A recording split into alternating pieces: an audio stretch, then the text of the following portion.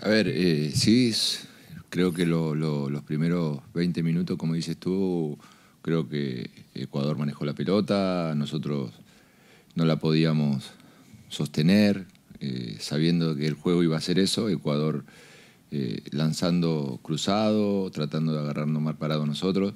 Bueno, creo que, ellos empezaron, a, empezaron mejor que nosotros en ese sentido. Eh, bueno, después de la expulsión de Ener, lógicamente, que a veces es complicado porque no sabes si es mejor para el que se queda con 10 o que se quedan con 11. Pero bueno, lo único que yo quería es que, tengamos la tranquilidad una vez que nosotros nos quedamos con un hombre más para, para esperar el momento, no desesperarnos, tratar de, de ver el, el, momento justo donde podíamos lastimarlo sabiendo que, que, lo que tenía que correr era la pelota, no nosotros. Segundo tiempo, bueno, hemos tomé la decisión de, hacer dos variantes, contento porque los muchachos que, que entraron lo hicieron muy bien y exactamente lo mismo, que tengamos la paciencia, la tranquilidad, que en cualquier momento íbamos a encontrar eh, el momento y aprovecharlo.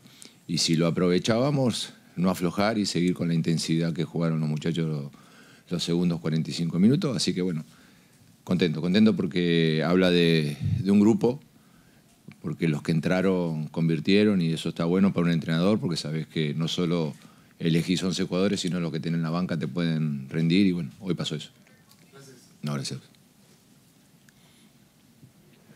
Profesor Batista, ¿qué tal? ¿Cómo está? Majo Gavilán desde el canal del fútbol. Yo quiero separar lo que significa ser un director técnico y un estratega. Y creo que el día de hoy eso demostró la, selección venezolana dirigida por usted, que ante ciertas circunstancias que ocurrieron en el partido, usted pudo salir avante incluso con los cambios. ¿Qué puede analizar de aquello, no solamente de este compromiso, sino también de la proyección en los siguientes enfrentamientos contra Jamaica? y contra México y la clasificación posible de Venezuela a la siguiente fase?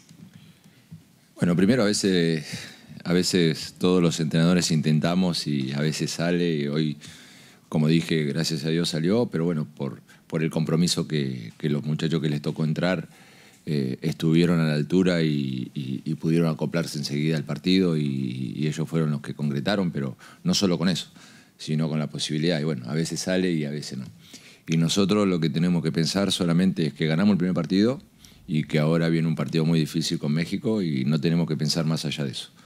Los pies sobre la tierra, seguir con la misma tranquilidad y sabiendo que el miércoles volvemos a tener otra final y nos tenemos que eh, preparar ya a partir de, de, mañana porque bueno, esto es así, pero volver y seguir con la misma, con la misma tranquilidad.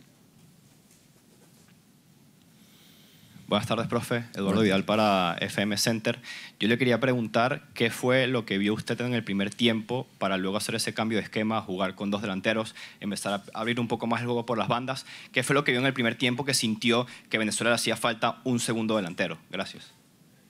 No, después de la expulsión y, del gol de, Ecuador, sabíamos que, que se iban a replegar y que iban a salir de contragolpe, tratar de buscarnos en algún momento donde podíamos dejar algunos espacios vacíos. Y, bueno, lo, que tratábamos de ajustar en el primer tiempo era que, teníamos que jugar mucho por banda, porque sabíamos que Ecuador se iba a centrar, iba a tratar de cerrar las líneas de pases y, y se iba a ser difícil entrar por, por zona de media. Entonces, bueno, la idea era tener esa tranquilidad, rodar la pelota y entrar por zona, por zona de bandas. Y bueno, eh, gracias a Dios eh, salió lo, lo, lo, que pudimos hablar principalmente en el primer tiempo después de los dos cambios. Buenas tardes, profe. Buenas tardes. Soy Rodrigo Almonacid de la agencia France Press. Quería preguntarle algo que se está hablando mucho en la prensa brasileña y es que el tamaño de las canchas que son un poco más pequeñas que las habituales. Quería saber si eso, si usted digamos es consciente de eso, si eso ha tenido algún impacto en, la, en el planeamiento de esos partidos y también del fútbol de Venezuela.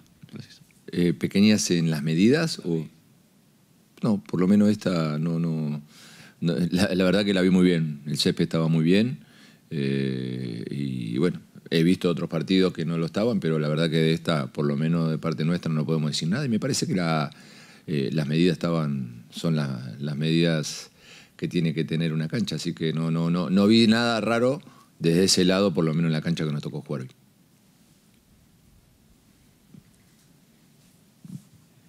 Profe, felicidades por el triunfo. Eh, en una charla, Luis Cotelé habla, ¿no? Sobre Solonex, en una charla previa que tuvimos hace no, más de un mes, me había comentado que el partido más complicado que habíamos enfrentado había sido contra Ecuador, en ese 0-0 como local.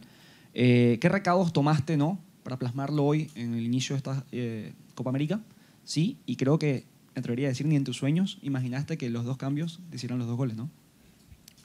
Sí, sí, por eso como le dije a tu colega, a veces lo haces y no sale y a veces, bueno, hoy es la alegría de, que haya salido, pero más que nada por, por lo bueno del compromiso de los que están afuera, están preparados para, para cuando les toque.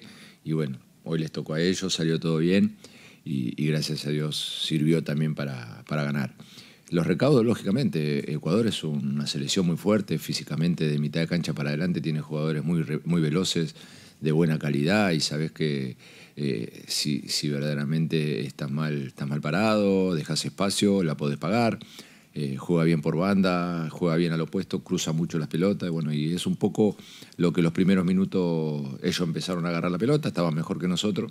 Después, lógicamente, de la posición de Valencia, ellos tuvieron que replegar mucho, empezamos a tener la posición de la pelota, se hacía difícil porque no se podía entrar, pero bueno, después de por eso lo he comentado ayer, eh, todos los partidos son diferentes. Y hoy, bueno, después de la expulsión también se desvirtuó un poco porque Ecuador tuvo que, replegar bastante y ahí fue donde creo que tuvimos esa tranquilidad para esperar el momento y bueno, gracias a Dios llegó.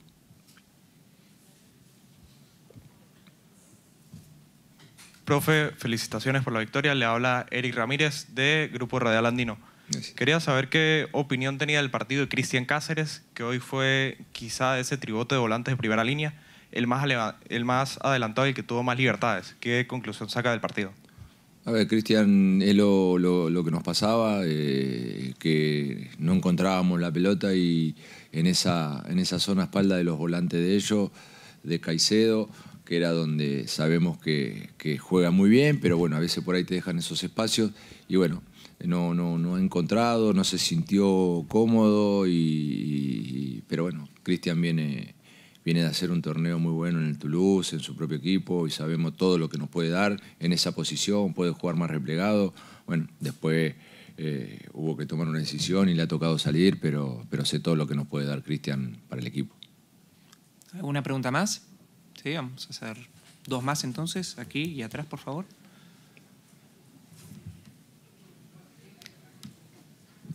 Eh, profe, me, dio la impresión de que al final del partido, ¿no? al finalizar el encuentro de la victoria de Venezuela, Nahuel Ferraresi estaba llorando ¿no? de emoción. Eh, dice algo esto del grupo, dice algo esto de Nahuel, ¿no? después de todo lo que ha pasado en, su último proceso como jugador en, Sao Paulo, la lesión y demás, la recuperación y bueno, la vuelta al nivel de, que mostró hoy, ¿no? que para mí fue una, locura, junto con Osorio, por supuesto. Sí, sí, estaba emocionado por el triunfo y como decís vos, eh, volver a jugar por los puntos oficialmente, tuvo una lesión y bueno, todo lo todo lo que pasa a un jugador de fútbol cuando tiene una selección, que tenés que estar fuera de la cancha seis, siete meses.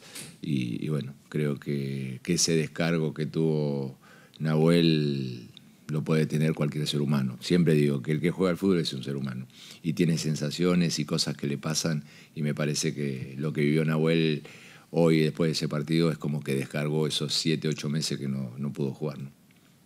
Vamos a hacer la última allí, por favor.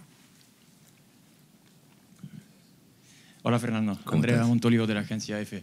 Em, quería saber un poco más con detalle, ahora os toca México, ¿no? Es un momento, bueno, quizás complicado para la selección mexicana, hay mucho cambio, en todo caso quizás eso complica un poco la preparación. ¿Qué esperas, algún detalle, lo que piensas tú de, de vuestro próximo rival? Y felicidades por la victoria de hoy. Bueno, muchas gracias.